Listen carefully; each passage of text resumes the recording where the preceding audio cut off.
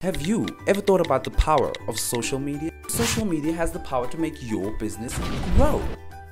Grow! Yeah. Why don't you let us manage your social media? Because our business is to see your business grow. Visit us at www.bstownmedia.co.za.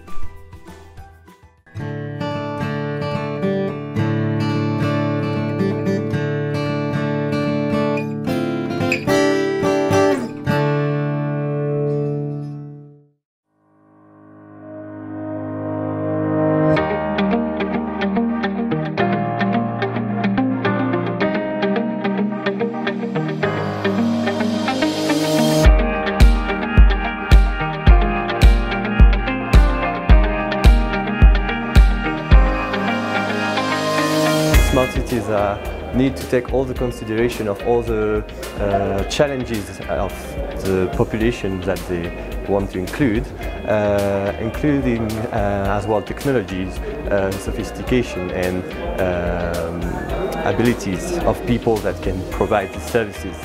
So I think it's about uh, facing challenges and reducing all the, the problems that we can have in every major cities all around the world. I think um, some of the grey areas when people are being informed about cybersecurity, it's never in the context in which those people operate. So I think for teenagers, teenagers need to hear a message of cybersecurity that applies to them. Um, adults, um, the elderly need to hear uh, cybersecurity information that uh, caters to the position that they are in, as well as the organizations and the national level. So I think one of the places that are being missed is that the message is not contextualized.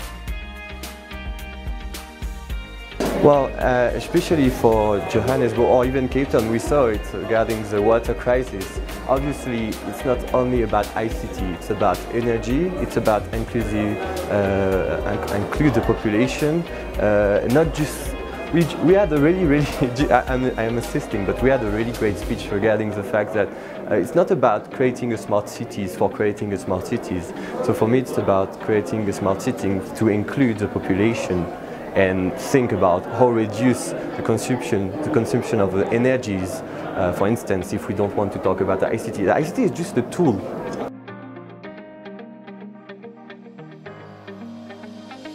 I think with all the, the cybersecurity initiatives that do exist, there needs to be synergy. We need to um, define a, a goal so that we can work in, in, in, collaboration, not work in silos. Because you would find out that there, there is a cyber security awareness campaign that exists in a certain province. There is um, a cybersecurity tool that is used by a certain municipality. All of these things are used in isolation, but I think if we could have synergy and be on the same par in terms of what exists in South Africa and how we can add value to the people that really need it, um, we would be better position when it comes to cybersecurity.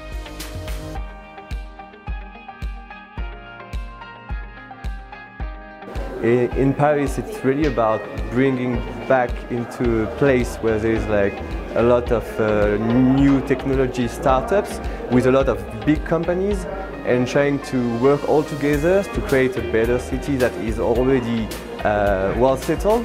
And in, in Johannesburg, there is a big city for the, I'm, I'm talking about uh, uh, Johannesburg CBD for instance, and there's like a lot to rethink, to change and to like, um, to, for include all the population together. There is such a, a huge cleavage between uh, Soweto, Sandton and Johannesburg and to create all the connection between all this area and try to work all together when actually Paris is much more actually all the same.